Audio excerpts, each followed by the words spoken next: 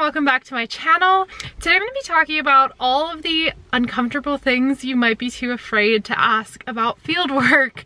I kind of want to be like your cool field aunt here and, and answer some of the questions that I literally don't think the answers to exist on the internet. So we're going to be talking about some probably pretty gross and uncomfortable stuff, so just a fair warning ahead of time. So this is relevant not only to field biologists, but other field scientists, geologists, field engineers, oil and gas workers, anyone who does a significant amount of their work uh, outside of a traditional office or lab setting. So where do you go to the bathroom?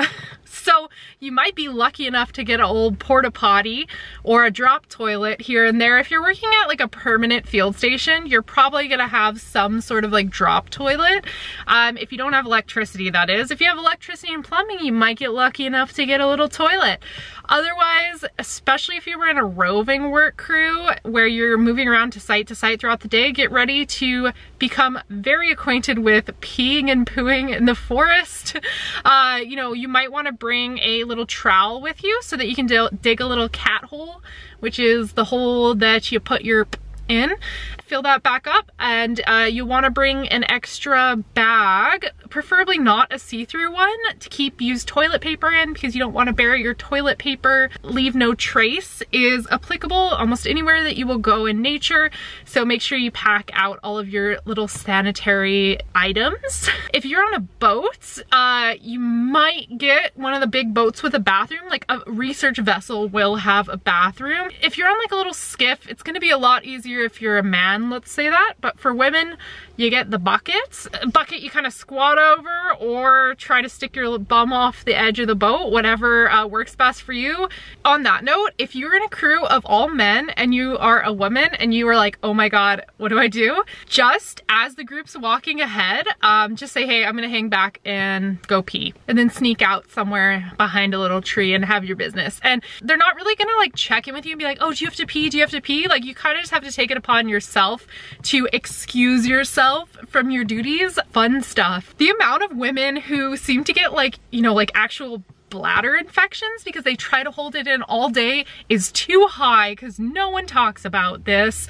So please, drink lots of water and excuse yourself to go pee somewhere. Do not try to hold it in for your whole field day. On that note, let's talk about what you do if you're on your period in the field. So this one's like the worst thing. So especially those of us who have a lot of pain and issues and fatigue associated with that time in the month, it can be really, really hard to do physical exercise.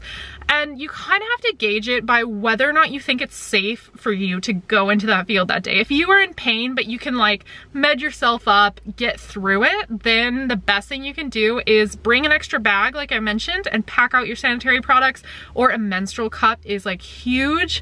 You can do that, just bury the blood under like in a little cat hole and cover it with sand and you can bring a water bottle or like some sort of little squirt bottle to clean it. Same goes for going number two in the forest. Bringing a squirt bottle is going to help you immensely so you're not like feeling disgusting afterwards. If you legitimately like cannot work because you're in so much pain, that is understandable and talk to your supervisor to try to get some relief. There are some supervisors who will never understand calling out because of period pain. I have lied about it before and I've said, I threw up this morning, I can't do it because I know that they're not gonna let me take the time off if I was on my periods. Sucks, but you know, do whatever you can to try to get that time, especially if it's not even gonna be safe. There's so many women who have like stories of passing out in the field because they were in so much pain and um, being in really unsafe situations. So just take the day off if there's no way that you can do it. You can take sick days in the field. That is actually kind of one of my other questions for people just in general. If you're really sick, you can take a sick day in the field. Um, I try to reduce it to only like absolutely necessary. I only do it when it's like a pretty big deal, uh, just because I feel like taking too much sick days in the field could be like looked down upon, but when you need it, you need it, so take it. Another topic is if you are alone in the field. Typically no, unless it's like excessively safe for you to be alone, meaning you're working on the side of a highway in a city or something like that where it's relatively safe and there's no issues. Otherwise, you're usually with a field crew, at least one other person, especially if you are in grizzly or bear territory, especially if you're doing nocturnal surveys, you're almost always gonna have someone else with you. Might not be another biologist, it might be like a construction worker, safety second, something like that. But um, if you feel unsafe in the situation and you feel like you need someone else with you, please speak up and request that safety second because that is standard for most field jobs. What about sexual harassment? What if you get harassed by someone on your job site? What if you get assaulted by someone on your job site or off your job site, a local or another biologist? Um, what do you do?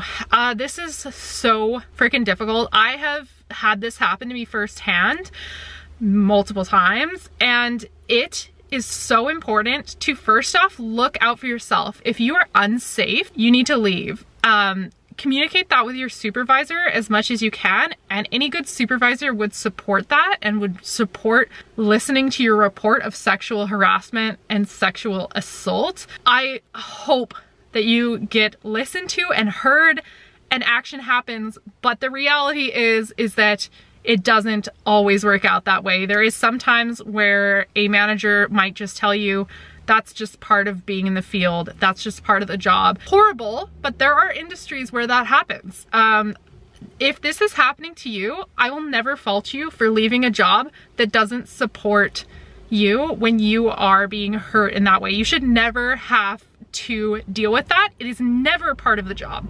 There is no industry and no job where sexual assault and harassment is acceptable and part of the job. So please do not think that ever. Please don't ever think it is part of the job because you don't ever deserve to have that happen to you.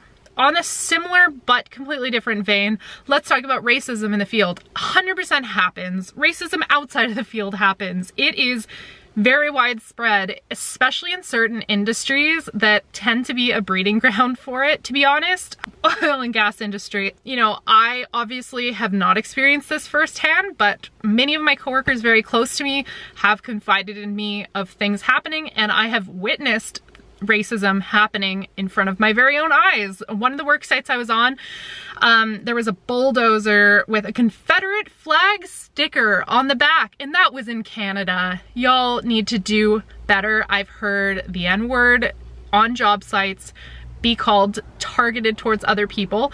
Of course, it should never be part of your job, I think any good supervisor would support you and hopefully that person who did it faces some sort of justice, but also realizing that does, doesn't always happen. So take the steps that is best for you, the victim of this. If your direct supervisor doesn't um, do anything, I would support you escalating it. Go above the supervisor. These are really important things. So don't be afraid to take it all the way up if no one is listening to you and hearing your concerns. Is it safe for women to go out into the field? I hesitate to say anywhere is 100% safe for women. That is up to your own personal risk tolerance, but I encourage you to try to step outside of your comfort zone a little bit, especially if the people who are telling you it is unsafe is like your parents who maybe don't have a good understanding of like the safety protocols that might be in place. If you have a really good program, a really good supervisor that supports you, the risks are very low. Um, that also goes towards like animals and wildlife. Usually you do have that safety second who's there with you to protect you. You have safety check-ins. You have personal protective equipment that will keep you safe. And there's so many things that could be put in place for you to be safe in the field. You just got to make sure that your company uh, has a good safety culture and respects that because you can see some red flags pretty much right away if a company doesn't have a good safety culture and that's not a company that you want to work for. What if someone asks you to do something that you're uncomfortable with? You can interpret this in multiple different ways, but the way I'm thinking about it is say they ask you to cover something up that you shouldn't have seen or they ask you to not report something that you think it is right to report, or ask you to compromise your personal integrity. That's something I've also learned the hard way. Your personal integrity is one of the strongest tools that you have as a scientist, an engineer, a professional. And by compromising that, I guarantee you're gonna have you know, those times in the middle of the night, five years from that moment where you remember that time and you're like, shoot, I wish I just stood up for myself. If you are doing the right thing, don't be afraid to tell someone to buzz off and that you are going to report something. It's just a matter of looking out first for your own personal safety. Um, it might be best in the moment to kind of try to step away as much as possible and say, hey, I need to talk to my supervisor before I do this, or I need to document that in my daily report, which is my go-to little like secret trick. Because if someone's doing something shady, they don't want you to write it in your field notes and in your daily report. When you say you're gonna write in your daily report, it gives them a little bit of a check to realize, shoot, I don't want my name associated with that. So there are some little tricks you can do there to keep it professional. I'll Try to document everything that you do and just work with the best intent and the best integrity possible that you have. If you're unsure what the best decision is, um, some of the guiding factors that I recommend looking at is what is based on science and what is based on kindness. And if you get that inkling in your stomach that something's not right, feel free to reach out to your supervisor or another field staff to try to get a second opinion on what you should do next. Can you do field work if you are pregnant? Um, yes, but there's a certain point where it might not be safe for you to be in isolated areas, especially if you're undertaking like a six month field program in a remote area. It might not be the best suggestion, but uh, local stuff, especially stuff within cell coverage, proximity to a hospital, um, you know, not too much like heavy lifting or all the rules around that, uh, you can still conduct field work. Can you do field work if you have kids, um, young kids? Absolutely. There are new parents that I've ran into in the field all the time, not saying it's easy. I'm also not the right person to talk to you about this because I don't have kids, but um, there's a big push for moms in the field. So there are definitely ways to work things out with your partner or the other caretaker of your child to try to allow you to still do some field work even when you are a new mom or new dad. What happens if you get too tired in the field and you're hiking and you're just exhausted? There's definitely a level of like physical fitness suggested for field jobs, especially if you're doing a field job where you're like hiking quite a bit, but it's absolutely acceptable to take breaks. So there's some days where I just feel like I can't really hike much and it really sucks to try to push through it or maybe it's raining. Don't let it get you down too hard because sometimes you'll have really great days that'll make you feel uplifted and happy again and make you feel like, you know, you're a fitness queen. And it does get easier over time because the more you're moving around and getting used to those field activities, the higher your physical fitness will be, um, the less winded you'll get and tired and all that. So it gets better through time. I know like some of the field jobs I worked the first day, I was just like sweating and exhausted, but like two months later, I was like peak physical fitness. And that doesn't mean like anything about body shape. That is like, I could walk and hike without being winded and my like lung capacity was really good and I was able to lift my heavy field equipment and not be exhausted at the end of the day so it gets better over time. Do you have any other questions? Leave them down below. If you could hit the subscribe button down below, you can see more videos like this about what it's like to be a wildlife field biologist. If you want to become a member of my Patreon, linked is down below. It is patreon.com slash wildbiologist. Thank you guys for watching this video and I will see you on the next one.